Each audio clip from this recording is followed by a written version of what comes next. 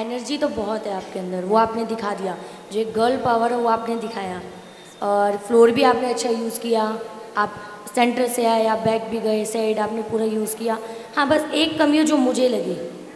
बहुत बड़ी कमी भी नहीं है, बहुत छोटी सी मिस्टेक है जो एक हुई थी। आप जो बीटे पकड़ रही हो, जिस रिदम पे आप डांस कर रही हो, ऐसा लग रहा है बहुत जल्दबाजी में हड़बड़ाहट में डांस कर रही हो। वो नहीं दिखना चाहिए। बाकी ओवरऑल एनर्जी आपकी बहुत अच्छी है एक्सप्रेशन आपने बहुत अच्छे दिए। एक ही कमी है बस वो आपको सुधारनी है ओके तो नेक्स्ट राउंड में अगर जाते हो तो उस पर ध्यान देना है। कूल होके बीट पकड़नी है आपको नर्वस नहीं होना है और भागना नहीं है। सॉन्ग के हिसाब से चलो जल्दी जल्दी मत चलो ओके ओके मैम तो बेस्ट ऑफ़ लक नेक्स्ट में अगर सेलेक्ट होते हो तो आगे कुछ अच्छा दिखाना।